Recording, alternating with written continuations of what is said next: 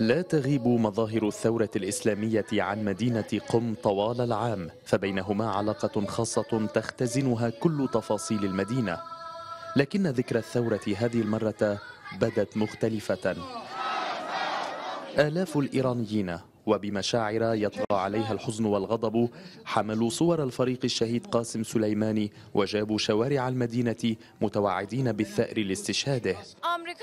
الولايات المتحدة فشلت من خلال العقوبات وفشلت من خلال اغتيال الشهيد سليماني في تركيع الشعب الإيراني. نحن نؤيد الدولة الإيرانية والسيد القائد. بعض الشباب لم يكن يشارك في هذه المناسبة لكن جريمة أمريكا بحق الشهيد سليماني دفعت الجميع إلى المشاركة هذا العام. يدرك سكان مدينة قم كما باقي سكان المدن الإيرانية أن عين الخارج تراقبهم فحولوا الذكرى إلى مناسبة جددوا خلالها البيعة لمبادئ الثورة والسير على نهج الشهيد سليماني. الأطفال قبل الكبار اخترقوا الحشود الغفيرة. لم تمنعهم من المشاركة لا الظروف المناخية الصعبة ولا الأوضاع الصحية الحرجة. وما زاد أيضا من ألق المشاركين وتلاوينهم مشاركة أشخاص من جنسيات مختلفة.